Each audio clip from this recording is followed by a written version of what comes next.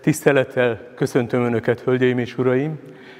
Így jól hall mindenki? Igen. Hála annak, hogy egész életemet énekléssel töltöttem éppen szabadidőmben.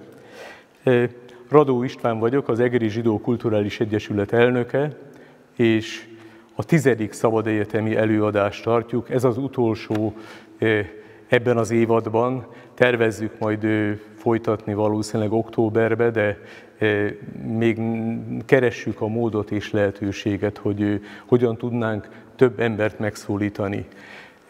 Köszönjük a Városi Televíziónak azt a segítséget, amit a tíz előadás alatt nyújtottak, hiszen azért sokkal többen látják, mert a Városi Televízió leadja ezeket a műsorokat, műsorként fogadja el őket.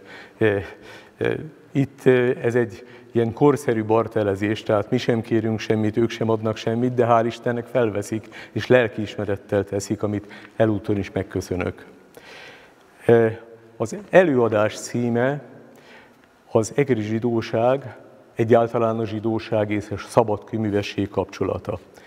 Egy rövid személyes bevezetővel kezdeném, ami nem a hitelességemet, inkább a hiteltelenségemet jelenti, ha szabad így mondani, hiszen én nem vagyok történész, bár nagyon szeretem a történelmet, és valaha egy Marsz Károlyról elnevezett közgazdaságtudomány egyetem első két évében úgy gondoltam, hogy hát ez a feltétele, hogy diplomata lehessek. A történelmet nagyon kellett ismerni, ebből nagyon szigorú vizsgákat kellett tennünk. Berenté Ivánnal volt a szóbeli vizsgám, és ötösre sikerült, akkoriban még nagyon-nagyon tudtam a történelmet. Azóta inkább csak szeretem. A történelem ugye az élet tanítómestere, ha nem felejtjük el, és ahogy a zsidóságomat is körülbelül 40-45 éves korom körül tudtam meg, édesapám halála után jó 20 évvel, mert ő, ő, ő semmit, de semmit nem mondott, nem árult el, és ő semmiről nem beszélt. Ahhoz a véletlenül el kellett vigyen Nagyváradra, hogy megtaláljam az ükapámat a Nagyváradi zsinagóga főfalán, Radó Sándort. Annyit tudtam, hogy édesapám, eh, hogy is mondjam, ilyen eh, ne, házasságon kívül született gyermek volt, és ezért eh, eh, is szégyelte, de arról sem beszélt soha semmit, hogy miért nincsenek az ő oldaláról rokonaink egyáltalán. Eh, azt is sokkal később tudta meg, hogy hát azért nincsenek, mert eh, eh, Észak-Erdét a második Bécsi döntés értelmében a két nagyhatalom visszaadta Magyarországnak, e, és e két e, e, döntés értelmében Észak-Erdély Magyarországhoz tartozott 1940 és 1945 között, és sajnos ezen a területen szinte maradéktalanul az összes zsidó származású magyar embert összeszedték, és, és elszállították, és, és kivégezték Zömmel Auschwitz-Birkenauban. Mint ahogy Magyarországon is, a vidéki zsidóság 95%-át elszállították, és 80%-a nem jött vissza. A 20% volt az a hadra fogható férfi, akit ugye munkaszolgálatos fegyver nélküli katonaként a honvédség állományába voltak, és aki megúszta az aknaszedést, az hazajött és nem találta a családját. Ugye ezeket a történeteket többnyire mindenki ismeri, aki már elég idős, vagy sok mindent hallott, vagy, vagy esetleg megtanulta. Én is könyvekből olvastam, mint mondtam, mert édesapám erről nem beszélt semmit, holott édesapám vasúti tiszt volt. Románul, franciául, németül kiválóan beszélt, vasúti főtiszt volt, tehát igen, ő valószínűleg amellett, hogy hamis keresztlevéllel átvészelte a háborút, valószínűleg rettegett, és valószínűleg közreműködött abban is, hogy egy rövid egy hónap alatt a háborús magyar államvasutak elszállított több mint 300 ezer embert Auschwitz-Birkenauba. Biztosan közre működött ebben, vagy, valamennyi, vagy biztosan tudott róla, ezekről és semmi másról soha nem beszélt. Ez a családi indítatásom arra, hogy barátaimmal, drága barátnőimmel megalakítottuk az Egri Kulturális Egyesületet, hiszen azt valljuk, hogy ebben a városban legalább a zsidó kulturális emlékek maradjanak meg és legyenek említve. Rátérnék akkor az előadásra. E, abban annyi a személyes jelleg, őszintén megmondva, hogy igen, én négy és fél éven keresztül voltam tagja egy szabadköműves páholynak, e, aminek a neve Jászi Oszkár volt. E, az a jobboldali úr Kossuth Lajos mellett, ő Jászi Oszkár. Róla még később fogok beszélni, Elsősorban talán most csak annyit említkenék meg, hogy két olyan szereplőjét mutatnám be a magyar történelemnek, az egyik Jászi Oszkár, a másik pedig, másikra pedig kitérünk. E két szereplő fantaszta volt, filozófus volt, hatalmas tervei voltak, és tulajdonképpen nem tudta megvalósítani ezeket a terveket. Jászi Oszkár megpróbálta a szabadkőművességet újból feléleszteni a második világháború után, Visszajött ezért Magyarországra az Amerika Egyesült Államokból, ahol, ahol 1921-be kellett elmennie, elüldözték szó szerint, nem csak zsidó származása miatt, de azért, mert ő az úgynevezett nemzeti radikálisoknak volt a vezetője, és ő tettek például a Károlyi Mihályt, ő tette valakivé, ő tette politikussá. Károlyi Mihály legfontosabb tanácsadója volt Jászi Oszkár, és ezért a nevét hozzákötötték az őszi rózsász forradalomhoz, majd pedig a e, tanácsköztársasághoz, a kommunisták hatalomátvételéhez, és ezért el kellett menekülnie. Visszajött Jászi Oszkár 1946-ban, megpróbálta, rájött arra, hogy polgári radikálisokra nincs szükség, hiszen a szovjet hadsereg birtokolja a hatalmat, a kommunista pártot támogatja, rövidesen hatalomátvétel történik, itt aztán neki sok keresni valója nincs, akkor megpróbálta az, hogy a szabadkönyvűves mozgalmat újraindítsa, a szabadkönyves páholyokat, hiszen ő mint szabadkőműves, nagyon-nagyon jelentős politikai, politikai radikális jobboldali szerepet próbált ellátni. Ezt sem tudta, és 1949-ben visszamenekült Amerikába, ahol meghalt. Elárulom azért a másik nevet, aki nem akárki, Herzl Tivadarról van szó. Herzl Tivadar meg túl korán született, filozófus volt, zsidó ember volt, és ő azt mondta, hogy a zsidóságot üldözteti, üldözik és rablógyilkolják Európába 400 éve. Nem kell, hogy itt legyenek. Menjenek vissza az eredeti földre, földjére a zsidóságnak, Judeába, és alapítsanak ott egy új országot. Ez volt az ő programja és nagyon-nagyon szép, komoly tanulmányokat is írt ennek érdekébe, ám de élete virágjában 46 évesen eh, nagyon súlyos tüdőgyulladásba 1906-ban meghalt. Eh, ellenben az ő eszméjét megvalósították 1946-tól eh, Izraelbe. Tehát végül is megteremtődött Izrael, és Herzl Tivadarról iskolák vannak elnevezve, utcák vannak elnevezve, és Herzl Tivadar az Izrael állam ideológiai alapjait rakta le. Nos, nem akarok előre szaladni, hiszen ez, a közepe, ez az eleje és a vége. Először arról beszélnék, hogy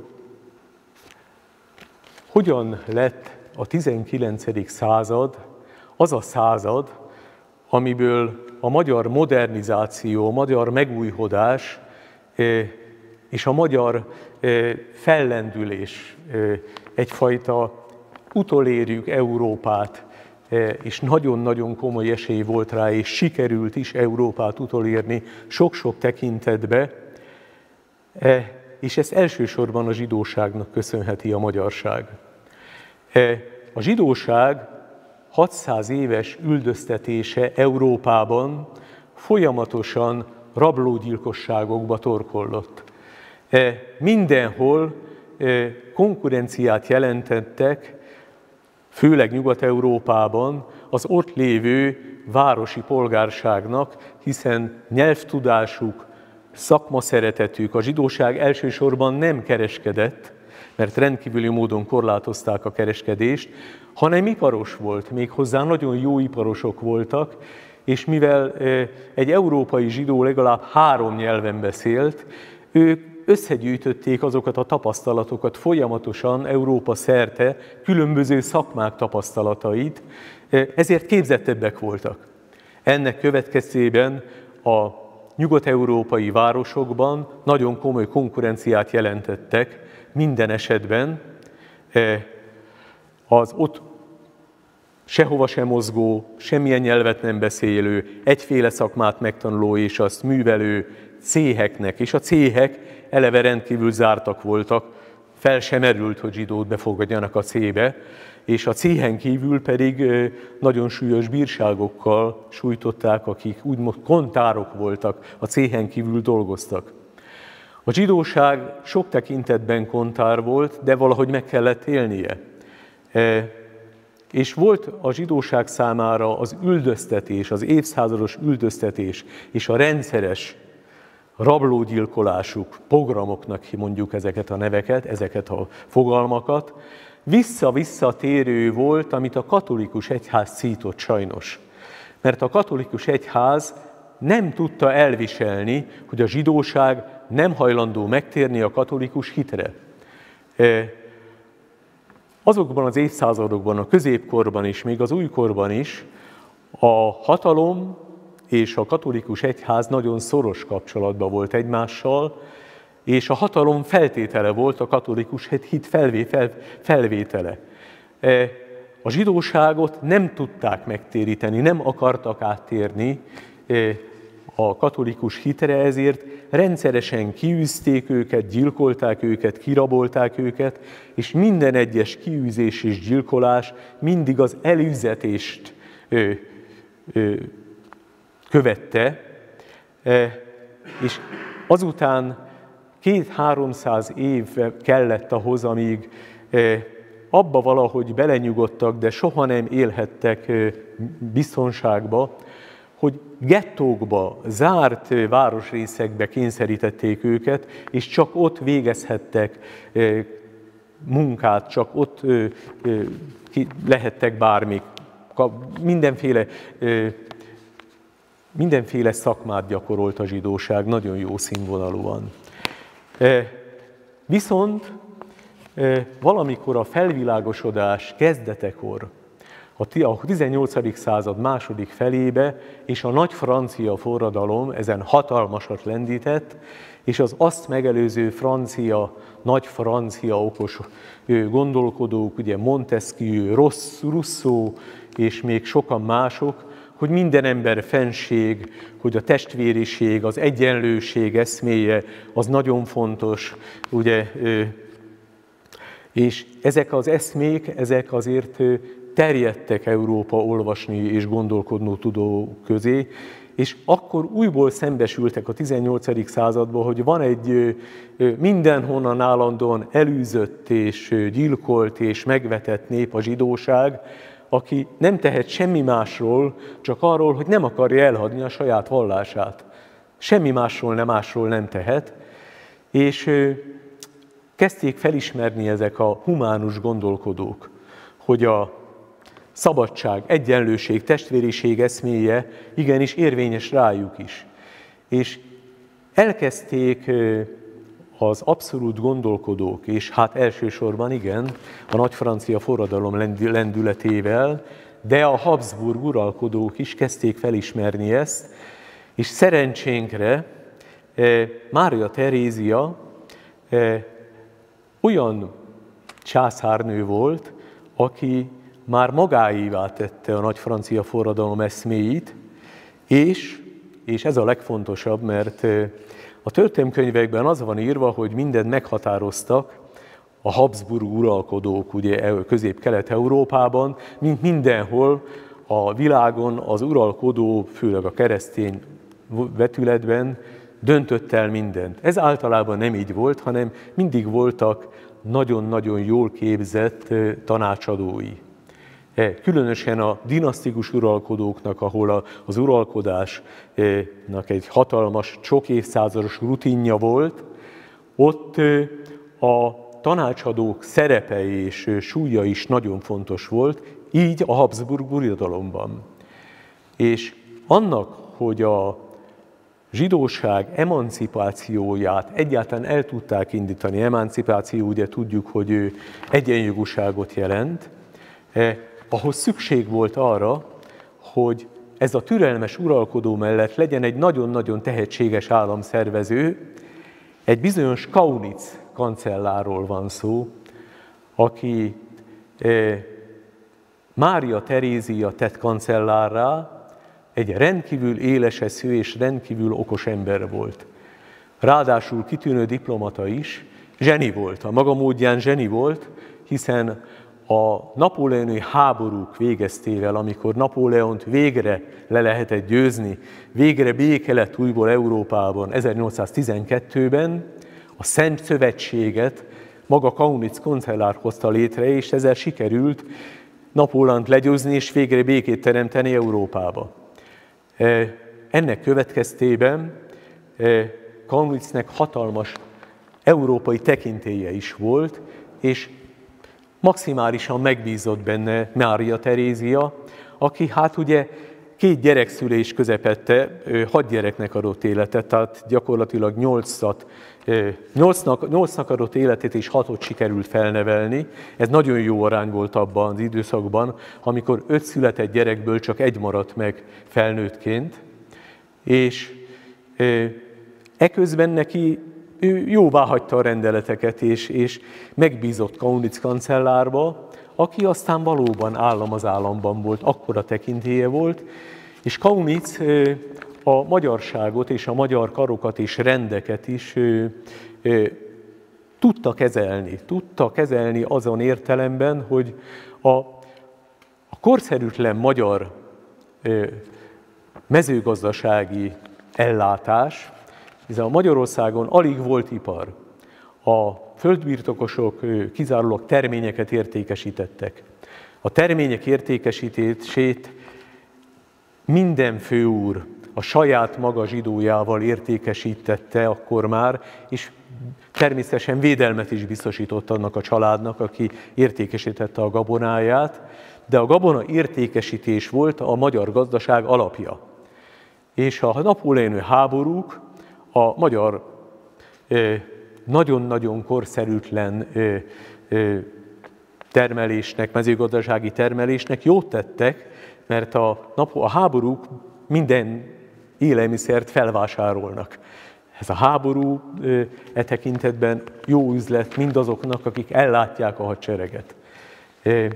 Ez viszont gazdaggá tette a magyar nemességet, és el, megalapozta egy olyan kisnemesi réteget, akik már a kevés birtokokból is meg tudtak élni, és Mária Tezézia jó voltából az úgynevezett testőr katonatisztek egész generációját tanította ki Nyugat-Európában. Ők mind-mind a nagy francia forradalom eszméjével jöttek vissza Magyarországra. És akkor is most ugorjunk egyet, a reformkor, amit mi reformkornak hívunk, az annyiban reformkor volt valóban, hogy a reform országgyűlések folyamatosan küzdöttek a Habsburgokkal, és elsősorban Kaunitz kancellárral, annak érdekében, hogy minél több önállóságot kaphassanak meg. E, Mária Terézia után a fia, ugye második József következett, aki azért nem koronáztatta meg magát, hogy ne kelljen a magyar koronára esküt tenni, és ne kelljen a magyar karokat és rendeket, a magyar országgyűléset összehívni, így egyszerűbb volt kormányozni. E, ellenben e, e, azt megelőzően ő eltanulta a kormányzás művészetét édesapjától és főleg Kaunitz kancellártól. Valahol itt csatlakozik a történetben a szabadkőművesség. A szabadkőművesség ugye a nagy francia forradalom eszméjén keresztül azért terjedt el nagyon-nagyon gyorsan Magyarországon is, és Németországban és a egész Európában, mert az eszmék, a szabadság, egyenlőség, testvériség, a minden ember testvér, gyönyörű szép eszméi lehetőséget biztosítottak az egyébként teljesen elzárkózott osztályoknak a kapcsolatfelvételre. Egyáltalán tudtak egymással, meg tudtak ismerkedni egymással. A kisnemes tudott beszélni természetesen latinul, elsősorban latinul, a főnemessel. Máshol soha nem találkozott volna egy kisnemes egy főnemessel. A felsőház és a, az alsóház az fényévnyi távolság volt egymástól. Nem társalogtak, nem voltak egy klubba, egy helyen e, a, a döntéshozó, a társadalom döntéshozó rétege e, a 6 milliós magyarsághoz képest Európában a lengyelek után nálunk volt a legtöbb nemesi származású ember. Ezek nemesi származású emberek túlnyomó része, ugye Adi versével vagy szavaival szólva, alig, alig vagyontalan, úgynevezett hétszilvafás nemes volt, és hát e, abból éltek, hogy tudtak latinul, tudtak görögül, e, megírtak hivatalos leveleket, állami állásokra pályáztak, és kaptak természetesen. Visszatérve a 19. század első felére, egészen 1848-ig eljutottak odáig, hogy igen, a zsidóságnak ugyanannyi jogot kell biztosítani, hiszen, hiszen ők is emberek, hiszen, hiszen itt vannak közöttünk. Minden esetre a magyar társadalom és a magyar nép, a magyar parasztság ellentétben a német, osztrák, lengyel, orosz parasztsághoz képest nem volt antiszemita, nem volt zsidó gyűlölő. Nem is nagyon ismerték a zsidókat, de, de után megismerték, nem alakult ki egyfajta antiszemitizmus, nem alakult ki egyfajta elemi nagyapjától, ükapjától örökölt zsidó utálat, zsidó ellenszem. Nem alakult ki a magyar társadalomban, és ez nagyon gyorsan elterjedt. Elterjedt Európában a zsidóság közbe, közepette, hogy hát ide érdemes jönni. Itt emberek nézek bennünket, itt hagynak bennünket dolgozni. Itt nem rabolnak ki, és nem gyilkolnak meg, és nem ö, ö, kényszerítenek különböző rettenetesen megalázó ö, eskükre. Volt egy úgynevezett zsidó eskü intézménye, amit a katolikus egyház kényszerített ki. És elindul elsősorban Erdélyen keresztül Magyarország felé a lengyel és az orosz zsidóság beáramlása. Tulajdonképpen menekülésről van szó. És, és hazárt lelnek a magyar társadalomba. Ez például az erdélyi részeken nem jelentett ekkora gondot, hiszen Erdély sok nemzetisége mindig is ilyen volt. Ráadásul Erdély ugye a török megszállása, török dúlás alatt is egyfajta konszenzusos kapcsolatban volt az erdélyi fejedelmekkel.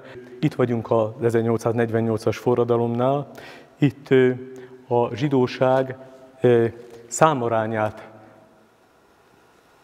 tekintve messze számarányán felül jelentkezett katonának, és nagyon-nagyon jelentős mennyiségű vagyont adtak össze a hitközségek a hadicélokra, azt megelőzően az első magyar takarékpénztárra Széchenyi külön megköszönte a zsidó, budapesti zsidó közösségnek az alaptőkéhez való hozzájárulást. Nélkülök nem sikerült volna a hitelbankot, az első magyar hitelbankot létrehozni. A zsidóságon természetesen a, ugyanúgy bosszút állt annak a 1849-ben a, ugye a hírhet Hajnau, és rettenetes hadisarcot rót rájuk, és zsidó katonákat és tiszteket is ugyanúgy 10 és 15 évre Kufstein várába záratta. Viszont a magát a fejlődést és a modernizációt nem tudta megállítani. A magyar társadalom változatlanul nem volt antiszemita, hanem befogadó volt, ezért egyre nagyobb számmal költöztek be Magyarországra zsidók, Oroszországból és Lengyelországból, illetve Morvaországból. Ezeknek a zsidóknak a jó része annyira szeretett volna azonosulni a magyar társadalommal, hogy hálából, nem is hálából, megfelelési kényszer és hálából divat volt közöttük magyarul tanulni és magyarul beszélni, gyerekeik jó részét magyar iskolákba íratták, és a kiedzezés tájékára 1867-re már megkapták a teljes jogú úgymond birtokvá, birtok lehetőséget, tehát önálló birtokaik lehettek, addig nem lehettek, bármelyik önálló intézményt is, bármilyen vállalkozást nyithattak, házat vehettek, vállalkozást indíthattak, és ez hatalmas lendületet jelentett, mert mindent, ami modern, mindent, ami európai, azt a zsidóság hozta be az országba. És hát természetesen ez már az akkori céhek kereteit szétfeszítette, már nem lehetett feltartani a polgári városokban azokat a zárt egységeket, hogy ne lehessen beengedni az új technológiákat és az új eljárásokat, az új mesterembereket, de hát természetesen Budapest volt a fő központja ennek. Budapest lakossága 1860 és 1900 között egészen döbbenetesen megnyolcszorozódott. És képzeljenek el egy 200 ezeres várost, ami 800 ezerre szaporodott a századforduló tájékán. A vállalkozáshoz szükséges tőkét, a tervezést, igen, a zsidóság tanulás iránti vágya természetesen bennük volt, 2000 év óta tanulnak, és a tanulás számukra természetes, amikor még az általagos társadalomokban az írás, tudatlan, az írás tudás 5-6 százalék volt akkoriban, a zsidóság környében állandóan 90 százalékos volt az írni-olvasni tudás, ami természetesen egy hatalmas nagy műveltség és tudásbeli előnyt jelentett mindig is. Igen, a, a gyűlöletnek és az ellenszemnek mindig a tudás is lehet a, az okozója. Ilyen gyarló az ember, de hogyha ezt, ezt nem győzöm hangsúlyozni, ha a katolikus egyház ezt gerjeszti, kezdeményezi, és uszítóként vesz részt, akkor, akkor az nagyon-nagyon átcsap rablógyilkosságba, mint ahogy ez nagyon-nagyon sokszor előfordult. Voltak éppen a Szent Inkvizíció, Szent Inkvizíció, a Loyola Ignác által létrehozott szent hivatal, hát arányszámában a gazdag emberek közül kétharmad arányban pusztította a zsidókat a vagyonuk megszerzése érdekébe. És igen, hát a térítés ilyen durva módját is. Aztán a Szent Inkvizíció, ugye, mint talán emlékszünk rá, Dél- és Közép-Amerikában népeket írtott ki, mert nem voltak hajlandók keresztény hitre térni. E, illetve hát nem voltak hajlandók rabszolgaként dolgozni. E, folytatnám, a 19. század második fele egy csodálatos fellendülés időszaka volt egészen 1914-ig. Ebbe a fellendülésbe az új magyarok, az a magyaradnál is magyarabb zsidó népesség, körülbelül 3 millió zsidó költözött be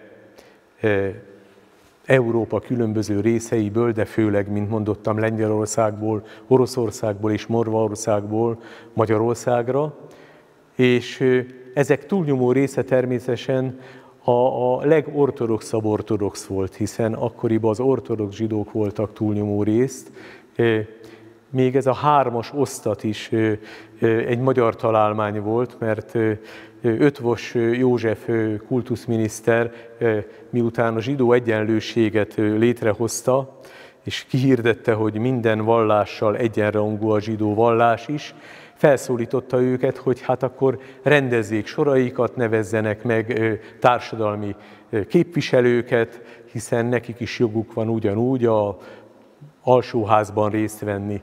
És ennek az lett az eredménye, hogy a zsidóság, mint sok helyen, elkezdett rettenetes módon vitatkozni, elkezdett rettenetes módon veszekedni egymással, és három vallás részre szakadtak, ortodoxokra, neológokra és a, az ortodox előtti állapotúakra, amit status anténak hívtak. Ez a mai napig így van, csak hát Magyarországon létrejött egy még nagyobb közössége a zsidóságnak, elsősorban Budapesten, ezek a teljesen vallástalan zsidók. Ugyanis a modernizációnak az az egyik ellenállhatatlan változása, hogy az emberek először megkérdőjelzik a vallást, aztán egyre kevésbé tartják fontosnak, aztán egy lassú, lassú folyamat, de megállíthatatlan folyamattal úgymond elvallástalanodnak. E, ez e, sajnos a, az európai civilizációban helyzet és tény. Valahol ebből ered az is, hogy ugye a modern, magát vallásosnak nevező ember is azt mondja, hogy hát ebből a vallásból is tetszik valami, meg abból is, meg az is egy nagyon szimpatikus, nem úgy van, mint régen. A zsidóság ebben annyiban más, hogy, hogy képesek lelkesen, folyamatosan veszekedni és vitatkozni erről, anélkül, hogy kenyértörésre kerülne a sor. De természetesen az bennük van, ami, ami egy ezer éves üldöztetés eredménye, hogy valójában csak egymásra számíthatnak, mert könnyen válik egy-egy nagyobb baráti csoport is ellenségé, hogyha, hogyha az uszítás elkezdődik. Ennyit a aktuál politikáról, és kanyarodjunk vissza. Tehát az a fontos kérdés, hogy a szabad elvűség, a nagy francia forradalom csodálatos vívmánya, a minden ember egyenlő, és szabadon gondolkodó, tehát szabad elveket valható. Ezt egyébként liberálisnak is mondják, e, ez egy idegen szó, ugye libere a szabadságot jelent, e, minden szép katolikus mise is azzal kezdődik, van egy tétel, a liberámé tétel, hogy szabadíts meg engem, Uram, a bűneinktől. Szóval a liberalizmus eszméje egészen 1918-ig eh, állameszme volt a magyar társadalomban. Gondoljanak erre, ez egy, eh, ez egy majdnem, majdnem száz éves eh, kegyelmi állapot volt, hogy a liberalizmus eszmeje az országot modernizálta, gazdagította, felépült egy olyan Budapest, ami szebb, mint Bécs, az volt az etalon egyébként. Budapest úgy épült fel, hogy legalább olyan legyen, mint Bécs, csak egy kicsit még szebb, csak egy kicsit nagyobb, csak egy kicsit díszesebb. 11 e, évig éltem abban a városban, Bécsben, és azt mondom, hogy valóban így van. Budapest szebb, csak, csak nem olyan rendezett és tiszta, de, de szebb. E, sok-sok része szebb, szebbre sikeredett, a mai napig is. És hát ugye az ország ilyen nagyon érdekes, hogy az ország a gazdag agglomerációjában él 3 millió ember, és az egy kicsit másként is gondolkodik. Mi meg valahol ott a mesdjén vagyunk, mert Egel ennek állítólag kulturális vonzereje van. E, a végére az előadásomnak tulajdonképpen még azt szeretném hangsúlyozni, amit, amit úgy gondolom, hogy szintén fontos, és amit talán kevésbé hangsúlyos. Ugye, akik valamit hallottak a szabadkőművességről, azok hozzá gondolták, vagy hallanak olyasmit is, hogy ebben összeesküvés elméletek vannak, ebben titkos társaságok vannak, amelyek valamilyen cél érdekében szövetkeznek, és, és megpróbálnak állam az államba lenni, megpróbálnak olyan befolyásra szertenni a társadalomban, titkosan, elrejtve, ahol mm, olyan befolyást és olyan érdekeket tudnak érvényesíteni, ami, amiről nem tudunk, ami csak úgy történik körülöttünk, de mi erről nem tudunk, már mi többiek. E, ezt gondolták és ezt gondolják mindig azok az emberek, akik, akik nem értik a világot. A világ meg nem értése az onnan ered, hogy minél több az információ, annál nehezebb közötte eligazodni. De az ember biztonságra vágyik, szeretne eligazodni. És hát az egyszerű magyarázatok, azok mindig hatnak. Egyszerű magyarázat az, hogy nem baj, hogy nem értik a világot, mert az felüttünk és mellettünk zajlik, eh, és mi erről nem tehetünk, mi erről nem tudunk, azok, azok, akik tudjuk vagy nem tudjuk, hogy kicsodák, a zsidók, a szabadköművesek, azok, akik itt meg ott vannak, azok felelősek azért, ami nekünk rossz. Nem értjük, hogy miért, de nekünk rossz. Ezek az úgynevezett összeesküvés elméletek. Konteóknak is hívják őket. Ebbe a konteóba sajnos a zsidóság és a szabadköművesség valahol egy oldalra sodródott, holott, holott miről van szó?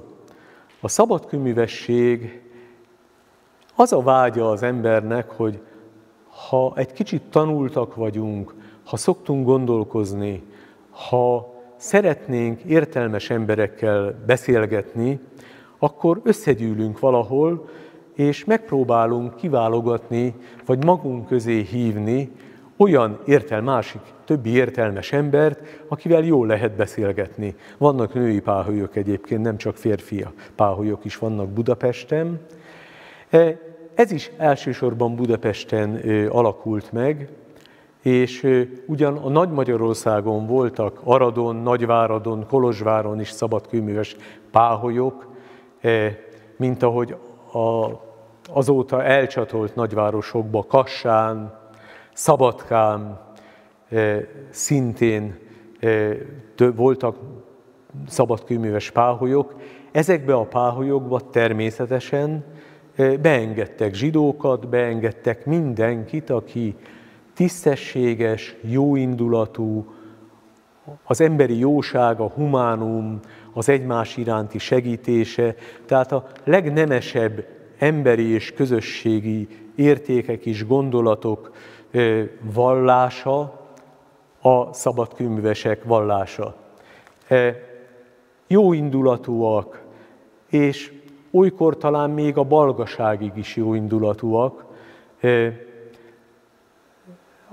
Bizonyos szabályok kötnek bennünket, engem is kötnek, nem mondhatom el, hogy kik vannak még benne. Egy szabadkőműves páholy általában áll 30-40 emberből, rendszeresen két hetente, hetente találkoznak, bemutatnak egy-egy témában egy-egy tanulmányt, eszét, amit ők munkának hívnak, aztán ugye étkeztetés van, amit vakolásnak hívnak, és ahol kötetlen beszélgetés van, vannak női páholyok, vannak vegyes páholyok is, nem sokan, és ezekben a páholyokban a felvétel az, ami egy sokszoros szűrő. Megpróbálja kiszűrni az ostobaságot, az önzést, a műveletlenséget, e, esetleg még a gonoszságot is megpróbálja kiszűrni, bár azt elég nehéz, megpróbálja kiszűrni minden olyan sekélyességet és alávalóságot, ami a gyarló ember jó részének a sajátja, és hisz abban, hogy ez általában sikerül neki. E, többnyire sikerül egyébként, többnyire sikerül. Nagyon sok kiváló embert ismertem meg a szabadkönyves páholyokba, és az őszinte egymás iránti szimpátia és szeretet az, az elmondható ezekről a páholyokról. Természetesen, hát talán, talán a, a kiválasztás fontos, és nagyon nagy, szigorú szűrőkkel lehet valaki szabadkőműves tag.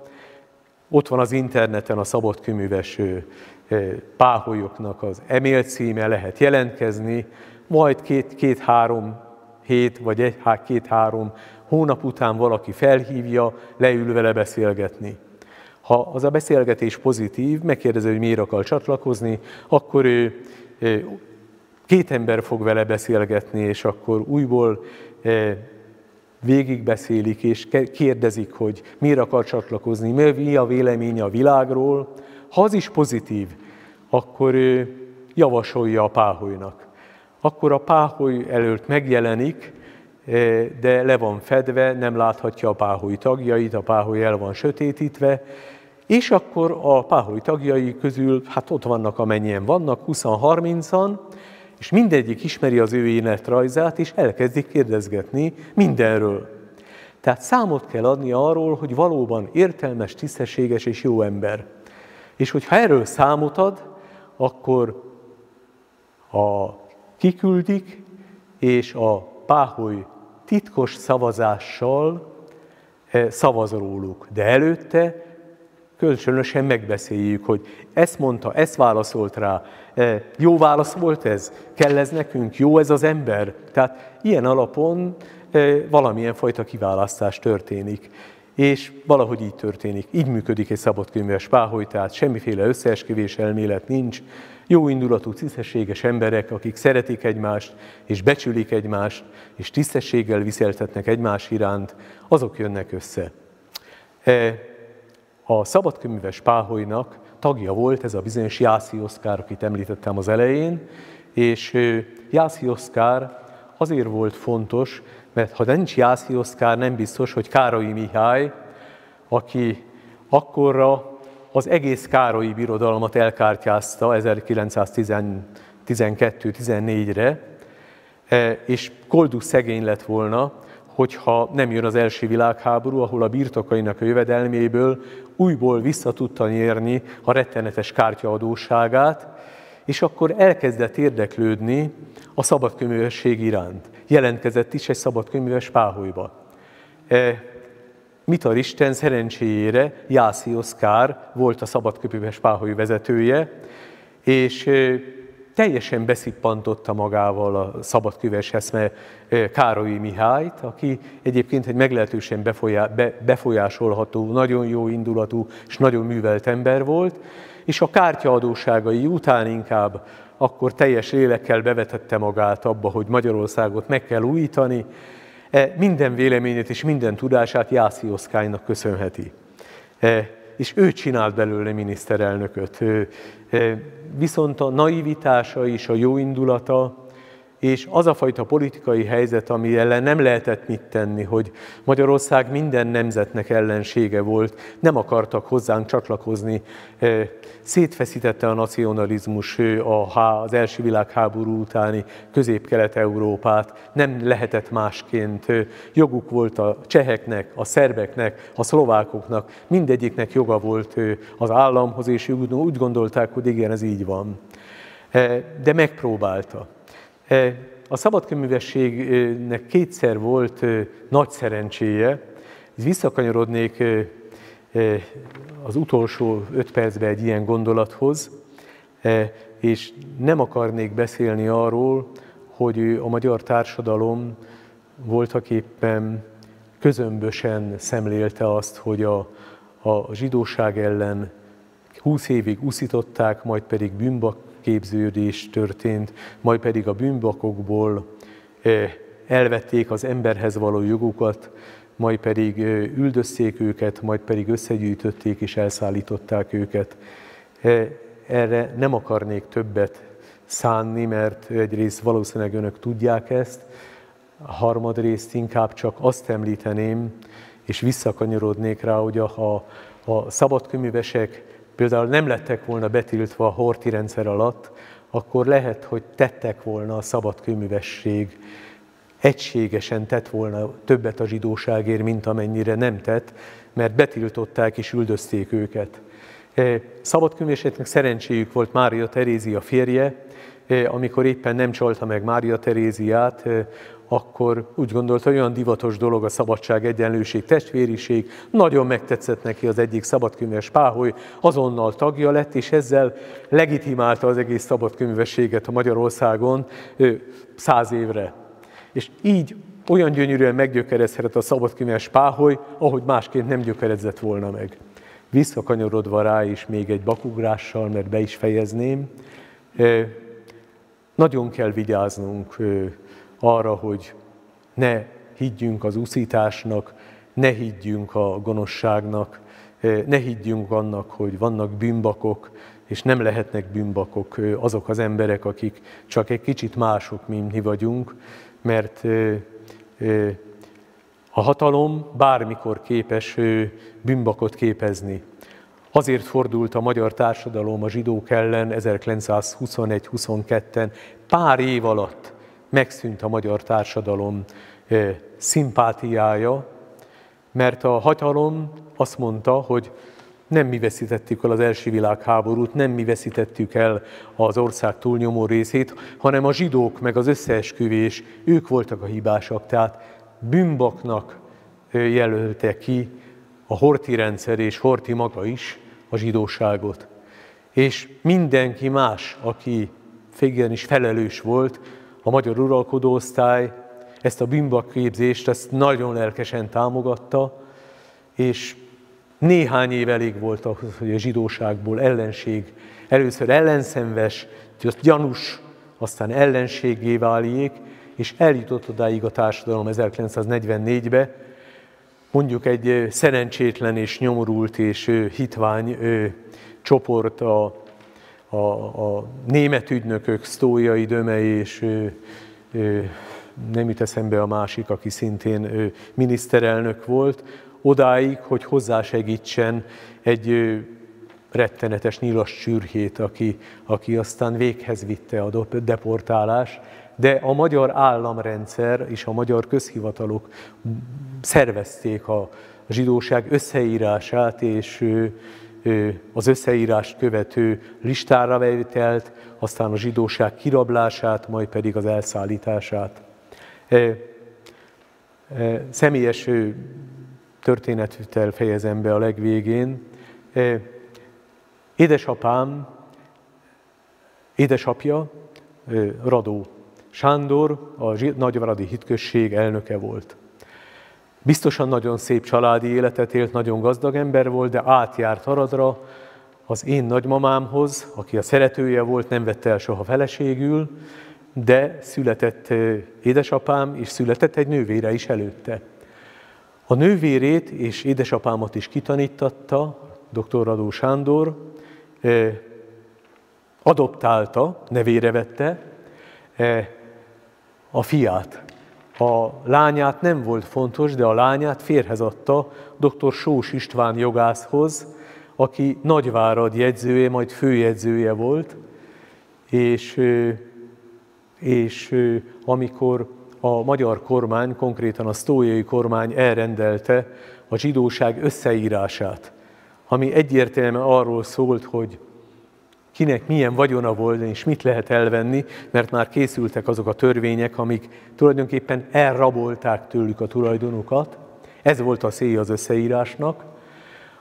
Az én ö, édesapám nővérének a férje, dr. Sós István főjegyző Nagyváradon nem hajtotta végre ezt az utasítást. Elszabotálta, majd pedig amikor felelősségre vonták, többszöri felelősségre vonása után volt olyan tisztességes, hogy lemondott a hivataláról. E, utána néztem később, e, az ország azt hiszem 400 főjegyzője közül öten voltak főjegyzők, akik lemondtak a hivatalukról, nem hajtották végre a zsidóság összeírását. Mindössze öt volt. E, hogy ezek közül ezekkel mi lett, azt nem tudom. Az én ö, ö, nővérem, az én édesapám nővérének a férjével, dr. Sós Istvánnal, azért a románok is csúnyán bántak, letartóztatták őt, megvádolták, elítélték, és a Dunadeltába töltött hat évet kényszermunkán, és megrokkanva jött vissza, megfélemlítve, és nem sokat élt utána. Én egyszer találkoztam vele, és egy megrokkant öregember volt, aki semmit, de semmit nem akart mondani, és nem is mert mondani. No, hát köszönöm szépen a figyelmüket. Ennyi volt a viszontlátásra.